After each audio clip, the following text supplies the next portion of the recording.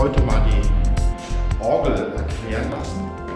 Müssen wir mal gucken, ob die Andrea da ist. Und dann kann die uns was, kann die uns was zur Orgel erklären. Hallo Andrea, störe ich dich gerade? hallo Rüdiger. Ich wollte ein paar Sachen über unsere Orgel erfahren. Ja, Hier gerne. In der Martin-Luther-Kirche. Wann ist die gebaut worden? Wie teuer? Und alles, was du weißt. Ja, gut. Also die Orgel äh, ist von der Firma Ott zweit- äh, 1978 gebaut worden und wir haben sie 2006 von der Firma van Vulpen aus Utrecht aus Holland ähm, überholen und neu intonieren lassen. Und ja, seither steht sie so auf unserer Empore und tut ihren Dienst in Gottesdienst und geistlicher Abendmusik. Wie funktioniert eigentlich so eine Orgel? Also die Orgel ist ein, könnte man sagen, Blasinstrument. Das heißt, ich brauche Wind, der in die Pfeifen gehen kann und an den Labien vorne, das sind diese kleinen Löcher, die man sieht, gebrochen wird. Dadurch wird die Windsäule in Schwingung versetzt und es entsteht ein Ton. Der Wind wird hier von einem Motor erzeugt. Der Motor sitzt in der Orgel. Und jetzt zeige ich dir mal hier sitzt der Orgelmotor hier drunter und das ist der Windkanal. Das ist also nicht ein Heizungsrohr oder ein Abwasserkanal, sondern das ist der Windkanal, mit dem die Luft zum Hauptwerk gebracht wird. Und in den Kanzellen ist dann dieser Wind, sobald ich ein Register ziehe und wenn ich eine Taste runterdrücke, dann wird ein Ventil unterhalb der Pfeife nach unten gezogen. Der Wind kann in die Pfeife strömen und die Pfeife klingt. Das heißt, du hast jetzt für jede Taste, die du hier hast, eine einzelne Pfeife. Und das nicht nur einmal, sondern das sozusagen hier auf dem Haupt, sogenannten Hauptwerk mal sechs. Das heißt, ich habe hier sechs verschiedene Pfeifen für jede Taste. Ich führe das einmal vor. Das ist der Prinzipal. Dann habe ich die Flöte, eine Holzflöte. Dann habe ich eine Oktave Vierfuß. Jetzt wird es immer höher. Dann habe ich einen Zweifuß. Jetzt kommt was Besonderes, eine Mixtur, vier- bis fünffach. Da habe ich nicht nur eine Pfeife, sondern bis zu fünf Pfeifen pro, To- pro Taste. Das hört man auch, es hört sich so ein bisschen nach Quinten und Quarten an. Und ich habe die Trompete.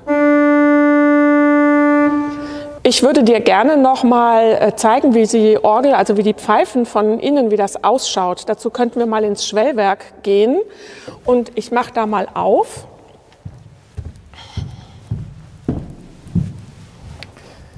Und dann kann man nämlich mal hier reinschauen und sieht viele Pfeifen, kleine Pfeifen und große Pfeifen. Und es gilt die Regel, je größer die Pfeife ist, desto tiefer ist auch der Ton. Und je kleiner die Pfeife ist, desto höher wird der Ton. Ich mache jetzt etwas, was sonst außer mir niemand machen darf. Ich hole mal eine Pfeife heraus und puste hinein.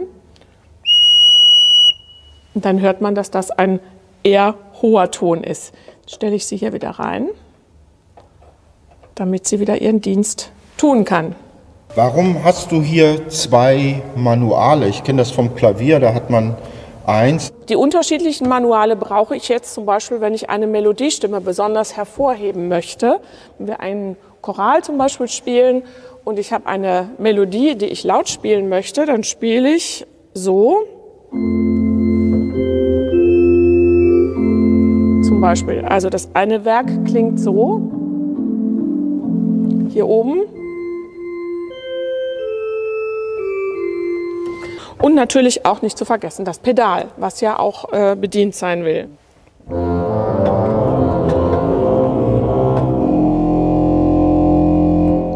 Und ich spiele dann gleichzeitig mit Händen und Füßen.